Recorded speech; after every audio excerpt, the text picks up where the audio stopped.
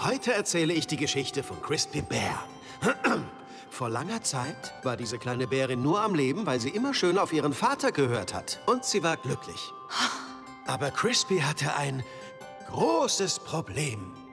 Sie war sehr neugierig. Ja, und eines Tages sah sie etwas Neues und war sofort tot. Einfach so?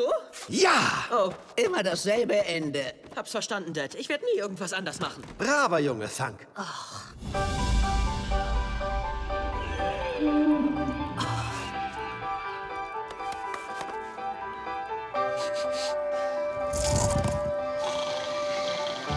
Meine Familie lebte immer nach der einen Regel meines Vaters.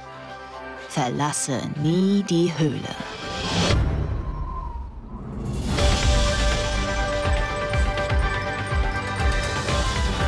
Wir hatten nie die Chance, die Welt da draußen zu erkunden.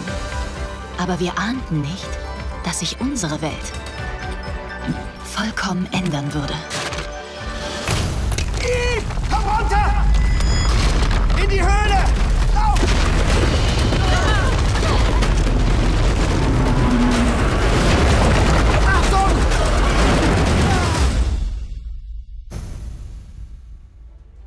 Müsst ihr euch echt ansehen, Leute.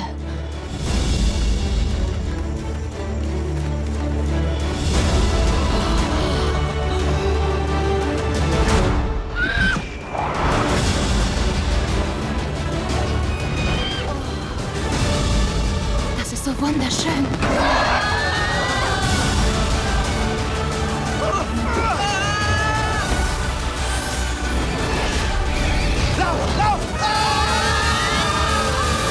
DreamWorks Decroots.